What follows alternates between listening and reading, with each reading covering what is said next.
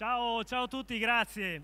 Ma io la faccio breve. Prima però del mio breve intervento volevo riportare di nuovo i saluti del mio amico eh, segretario provinciale del Ticino Andrea Bartolini che non c'è per motivi di salute anche seri, però lui è, è qua col cuore, con la testa, ci segue, quindi eh, eh, c'è e lo rivedremo molto presto. Allora, no, io due cose veloci, due cose veloci. Uno sul tema autonomia referendum che avremo l'anno 21 e l'altro una considerazione interna sul, sulla Lega, su come possiamo aiutare Salvini. Allora, sul tema autonomia, referendum, che sia in atto un attacco forte al mondo dell'autonomia lo stiamo vedendo, particolarmente forte sulla sanità.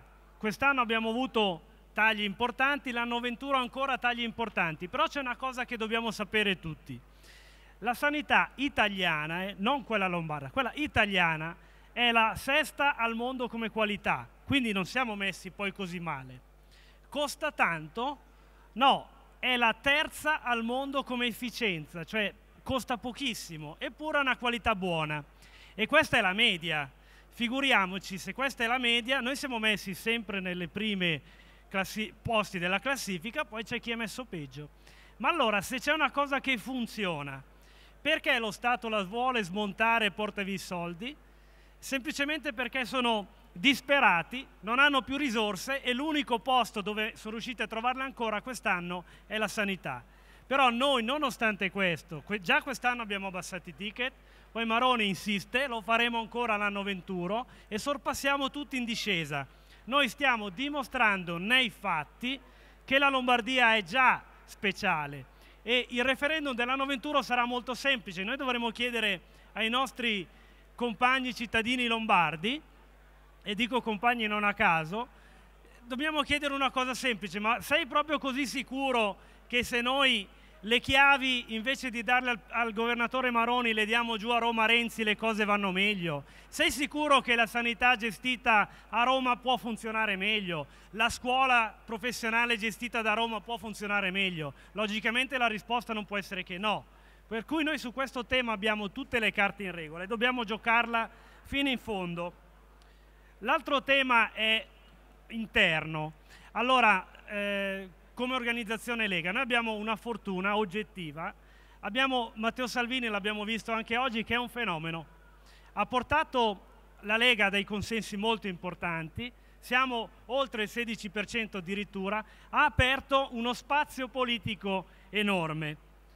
Attenzione però, noi che cosa dobbiamo fare? Noi dobbiamo coprire questo spazio politico, dobbiamo coprire le, spalle, le spalle a Matteo Salvini, Riempire lo spazio politico non vuol dire riempire le poltrone, eh? dobbiamo essere chiari su questo punto.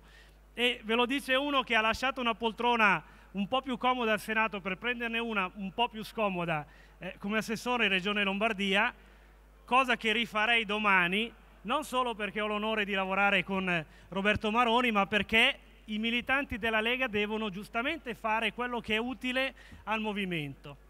Però dicevamo come possiamo aiutare noi a coprire le spalle a Salvini, come possiamo riempire questo spazio politico che lui ci ha aperto con le sue capacità. Noi possiamo riempirlo dando contenuti e azione politica. Contenuti vuol dire nuove idee, nuove cose da fare e dimostrare nei fatti cose fatte buone.